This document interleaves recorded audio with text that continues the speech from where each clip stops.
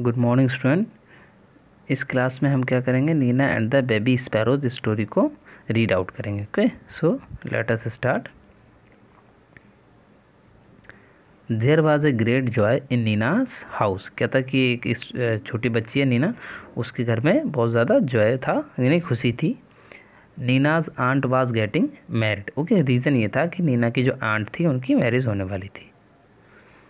Nina her father mother and little brother were all going to Delhi for wedding तो क्या था?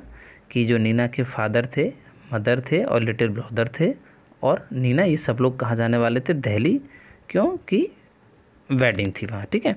Every one was happy यानी सब लोग खुश थे एक्सेप्ट नीना केवल नीना को छोड़कर, ठीक है? अब क्या रीज़न था?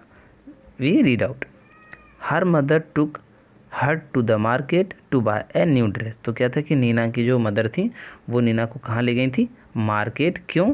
बाय ए न्यू ड्रेस ठीक है? बाय का मतलब होता है स्टूडेंट परचेस करना या ख़रीदना। ठीक है? What colour would you like mother asks तो क्या था कि नीना की मदर ने पूछा कि तुम्हें कौन सा कलर पसंद है? तो नीना क्या रिप्लाई करती है? I don't want a new dress mother said Nina तो नीना ने कहा कि, मदर, मुझे कोई ड्रेस नहीं चाहिए, ठीक है? सलवार कमीज़ देन? तो उन्होंने कहा, सलवार कमीज भी कुछ? नीना, सुख हर हेड. तो नीना ने क्या करा कि अपना सिर हिलाया। सुख का मतलब नाम में सिर हिलाया, ठीक है स्टूडेंट जैसे हम नाम सिर हिला के मना करते हैं ना, ऐसे करके। What about those lovely white shoes you saw last week तो क्या हुआ कि नीना की मदर ने बताया कि वो प्यारे वाइट शूज़ जो आपने लास्ट वीक देखे थे, वो आई डोंट वांट दोज यानी नीना बोलती मुझे वो भी नहीं चाहिए आइदर थैंक यू मदर तो बताती है, ना तो मुझे ड्रेस चाहिए और ना ही मुझे वो शूज़ चाहिए. और फिर बोलती है thank you mother Nina's mother was upset तो क्या हुआ कि नीना की मम्मी जो थी, ये सब सुनकर दुखी हो गई। बट सी सैड नथिंग लेकिन उन्होंने कुछ नहीं कहा। ठीक है? नथिंग का मतलब कुछ नहीं। They went back home and had lunch क्या हुआ? वो लोग घर वापस आ गए और उन्होंने लंच किया। After lunch mother came and sat near Nina क्या हुआ? लंच करने के बाद आफ्टर और बिफोर हमने क्लास टू में पढ़ा था ना बच्चों? हाँ। तो लंच करने के बाद आफ्टर लंच मदर के मतलब मम्मी उसकी आई and sat near Nina Nina के पास बैठ गई। वाट इज़ इट चाइल्ड तो वो पूछती क्या, ये क्या है? She asks why did you say no to everything यानी आप मना क्यों कर रही हैं? एवरीथिंग मतलब सभी चीज़ों के लिए, ठीक है? चलिए आगे पढ़ते हैं student mother I don't want to go to the wedding तो क्या हुआ नीना मना करती है कि मैं शादी में नहीं जाना चाहती, ठीक है? वांट का मतलब होता है चाहना, ठीक है? बट वाई लेकिन क्यों? ये नीना की मदर ने क्वेश्चन पुटअप किया है। वट वाई क्योंकि यहाँ देखिए क्वेश्चन मार्क है ना स्टूडेंट तो क्या हुआ कि ये नीना की मदर ने क्वेश्चन पुटअप किया है what why Nina said nothing Nina ने फिर कुछ नहीं कहा, ठीक है? नीना शांत रही, उसने कुछ नहीं कहा। है instead two big tears rolled down her cheeks ठीक है? नीना ने कुछ नहीं कहा, जबकि वो क्या क्या हुआ? उसके गाल पर दो आँसू बहने लगे। रोल्ड डाउन का मतलब होता है कि नीचे को बहना, ठीक है? रोल्ड डाउन, हर चिक्स ठीक है? Mother put her arms around Nina. तो क्या हुआ कि नीना की मदर ने नीना के दोनों तरफ़ हाथ से पकड़ा, अराउंड नीना, डोंट क्राई। और फिर उन्होंने क्या कहा? डोंट क्राई, यानी मत रो। माई पेट, मेरी बच्ची, सी सेड। यानी ये बात नीना की मदर ने कहा। Why don't you tell me what's bothering you तो नीना की मदर ने कहा कि why don't you tell me आप मुझे क्यों नहीं बता देती? वाट्स वॉदरिंग यू यानी आपको क्या परेशानी है? Next more tear rolled down Nina's cheeks अब ये बात जैसे ही नीना की मदर ने कहा तो क्या हुआ कि नीना के गाल पर और दो और आँसू बहने लगे, ठीक है?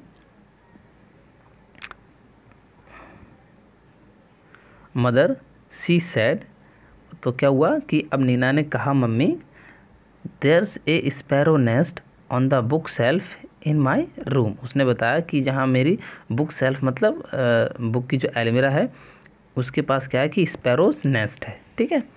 And there are two baby sparrows in the nest और ने बताया कि उस नेस्ट में दो स्पैरो के बच्चे हैं। आई सी मदर सेड ठीक है? इसके बाद देखते हैं। There are just beginning to get their feather तो उन्होंने बताया कि ये उसकी शुरुआत है पंख निकलने की। And growing up make them so hungry और क्या हो वो लोग बड़े हो रहे हैं, इसलिए उनको भूख भी ज़्यादा लगती है। All day along they cry cheep cheep for asking for food क्या होता है? चीप चीप का साउंड निकालते हैं वो, और वो साउंड क्यों निकालते हैं? क्योंकि उनको आस्किंग फॉर फ़ूड हमेशा फ़ूड के लिए बोलते हैं वो। आई सी मदर सेट फिर मदर कहती हैं अच्छा तो फिर नीना कहती है इफ़ बी गो अगर हम गए the whole place will be locked यानी होल का मतलब होता है बेटा कंप्लीटली यानी होल प्लेस यानी पूरा घर जो प्लेस होगा, वो कैसा हो जाएगा? विल बी लॉक्ड बंद हो जाएगा। And how will papa and mama sparrow feed their babies तो क्या होगा कि if the whole place will be locked यानी पूरा घर बंद हो जाएगा तो कैसे जो स्पैरो के पापा और मामा हैं, वो अपने बच्चों को खाना देंगे? फ़ीड का मतलब होता है स्टूडेंट फ़ूड ओके कैसे वो उनको खाना देंगे? ओ नीना क्राइड मदर यानी जो नीना की मदर थी, उन्होंने कहा, ओहो गिविंग हर बिग हग यानी उन्होंने उसको गले से लगाया। Is that why you don't want to go to wedding इस कारण से आप शादी में नहीं जाना चाहती थी। But that's no problem at all लेकिन ये कोई बड़ी प्रॉब्लम नहीं है। यानी ये कोई प्रॉब्लम नहीं है। We will leave the window open यानी उसकी मदर ने बताया कि हम लोग जब जाएँगे तो क्या होगा कि विंडो ओपन करके जाएँगे। ओहो can we mother can we really तो नीना कहती है, सच में हम ऐसा कर सकते हैं? हम ऐसा कर सकते हैं?